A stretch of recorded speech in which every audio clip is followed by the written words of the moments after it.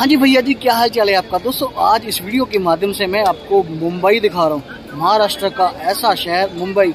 यहाँ पर आना बहुत ही मुश्किल है और रहना बहुत ही मुश्किल है। खाना पीना सस्ता है, घूमना सस्ता है, लेकिन रहना यहाँ पे बहुत ही मुश्किल है। इस वीडियो के माध्यम से आप मेरे साथ मुंबई घूमेंगे। तो भैया जी, वीडियो लाइक करके शेयर कर दीजिए। तो चलिए, घूमते हैं आज मुंबई। सो ये है मुंबई की जान, इंडिया गेट। इंडिया गेट के सामने बिल्कुल है ताज होटल, जहाँ पे उग्रवादियों ने, आपको पता ही है, हमला कर दिया था। और ये है नया ताज होटल। भाई साहब, शाम का नज़ारा है और मौसम देखिए कितना सुहाना है यहाँ पे। ये रहा हमारा gateway of India.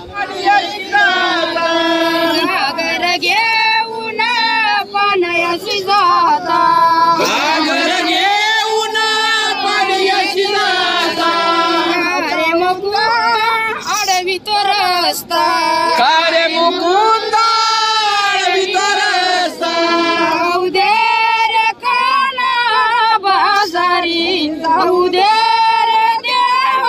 Gateway of India से ये शिप जाती है। भैया जी एक पर्सन यहाँ पे अलाउड नहीं है। दो बंदे कोई अंदर जाने देते हैं। दस रुपये टिकट है मात्र। और ये रहा हमारा समुंदर का किनारा। गेट वे ऑफ़ इंडिया के साथ बिल्कुल समुंदर है ये। ये शिप चलती है। आप कभी आए तो इसमें घूम सकते हैं। लैंग्वेज बोलते हैं ना, बड़ी अजीब तरह की लैंग्वेज ए भाई, इधर जाने का नहीं, क्या बोले तो बाहर आते रहे बोला, अंदर जा रहे तू। ऐसा लैंग्वेज यहाँ पे बोलते हैं, इनकी अपनी भाषा है। तो हमें माइंड नहीं करने का, है ना? गुस्सा नहीं करना है कूल रहना है हमेशा। आपको लेके आया हूँ मरीन ड्राइव बहुत ही अच्छी अच्छी हवा चल रही है, लोग बैठे हैं यहाँ पे। और यहाँ का जो फ़ेमस है, वड़ा पाव, वो खा रहे हैं। कोई चाट खा रहा है, कोई गोलगप्पे खा रहा है। तो बहुत ही मज़ा आने वाला भैया जी आपको इस वीडियो में। वीडियो लाइक करके शेयर कर दीजिए। तो वीडियो में देखते थे मरीन ड्राइव आज सच में सपना पूरा हो गया। ये देखिए, पानी पत्थरों के बीच में आके कैसे ज़ोर से चिल्ला रहे हैं। ओहो हो हो हो, यहाँ का नज़ारा कुछ अलग ही है दोस्तों।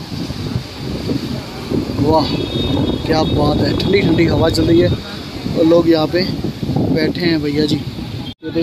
और आज सपना सच हो रहा है। खुली आँखों से सपना देखना चाहिए, तभी पूरा होता है। आँखें बंद करने से सपना कभी पूरा नहीं होता। है सपने देखते रहिए और सच करते रहिए।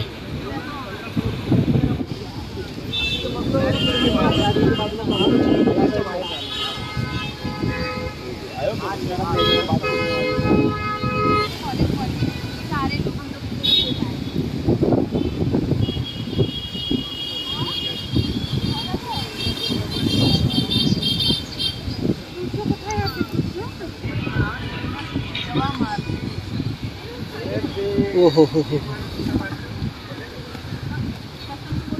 तो ये है मरीन ड्राइव की ऊँची ऊँची बिल्डिंगें ओह आपने मुंबई नहीं देखा तो कुछ नहीं देखा। सच में बहुत ही अच्छा शहर है मुंबई। सपनों का शहर मुंबई। जहाँ जो आता है, यहीं का होके रह जाता है। जैसे कपिल शर्मा आए, यहीं के होके रह गए। तो मेरा भी मन नहीं कर रहा जाने को। लेकिन क्या करे, जाना पड़ेगा। चलिए, आपको कुछ और दिखाने की कोशिश करता हूँ।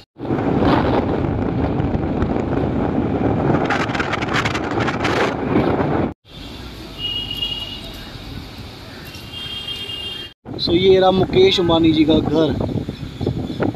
भाई साहब ये है भैया जी मुकेश अंबानी जी का घर।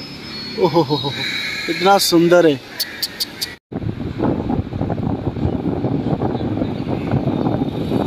लोकल ट्रेन में नहीं बैठे तो आपका मुंबई आने का कोई फ़ायदा नहीं है। चलिए आपको आज मैं मुंबई की लाइफ लाइन कहने वाली मेट्रो ट्रेन में घुमाता हूँ। ये आपकी लाइफ लाइन कहने वाली मुंबई की मेट्रो ओहो हो देखिए इसकी स्पीड कितनी जल्दी ये भागने लग जाती है। ओहो हो हो। क्या बात है।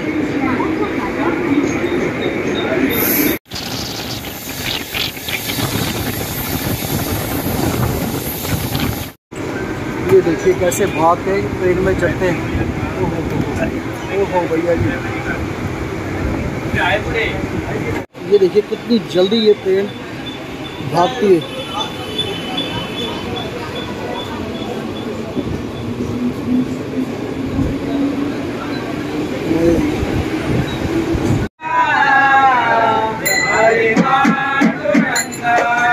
का सबसे ज़्यादा रश पड़ता है बांद्रा में, भैया जी। इतना रश चढ़ता है ना, क्या बताएँ आपको। आपको भीड़ ही अंदर ले जाती है और भीड़ ही बाहर आपको लेके आती है। तो जब भी आप आएँ तो ध्यान रखें अपना। तो ये सामने आप देख रहे हैं वास्तु बांद्रा। ये है टाइगर शराफ का घर। यहाँ रहता है टाइगर शराफ। दोस्तों, ये घर है जॉन इब्राहिम का। सी ग्लिम्पिंस। देख रहे हैं, मन्नत, शाहरुख खान जी का घर। ये देखिए, लोग सेल्फी ले रहे हैं। शाहरुख खान जी का घर है भैया, ये देखिए। सौ ब्रश देख सकते हैं। ये रहा सामने बंगला। शाहरुख खान जी का घर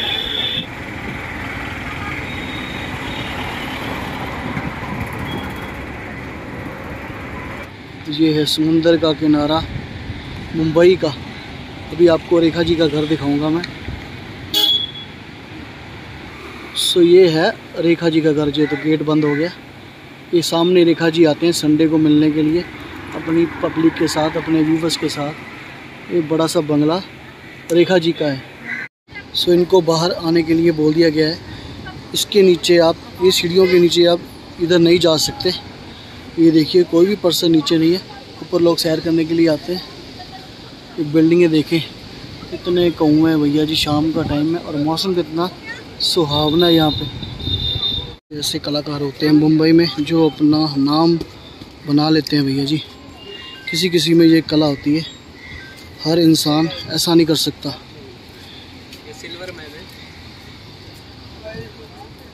भगवान हर किसी को ऐसी कला नहीं देता। क्या बात है।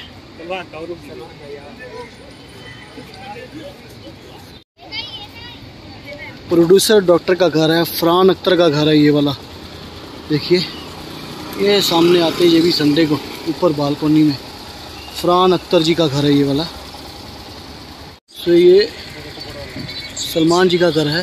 ये गेट आप सामने लग रहे ये बिल्डिंग के साथ वाला। तो दोस्तों, कुछ खाने के लिए रुके हैं बांद्रा में। तो क्या खाने के लिए मंगाया आपको दिखाते हैं। और उसका प्राइस भी बताते हैं। रात का समय है। तो जो जो खाने को आएगा, मैं आपको दिखाता हूँ। सो ऑटो वाले भैया के साथ कुछ मंगाया खाने के लिए। ये सिंपल डोसा है ये सांबर है ये चटनी। तो इसको क्या बोलते हैं भैया जी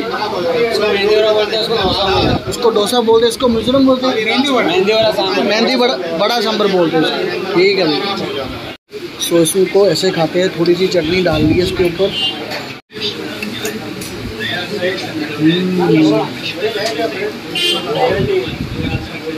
बहुत टेस्टी ज़्यादा मिर्ची नहीं है। हाँ ठीक है। जी ठीक है। सत्तर रुपये प्राइस भैया जी। डोसे का प्राइस भी सत्तर रुपये।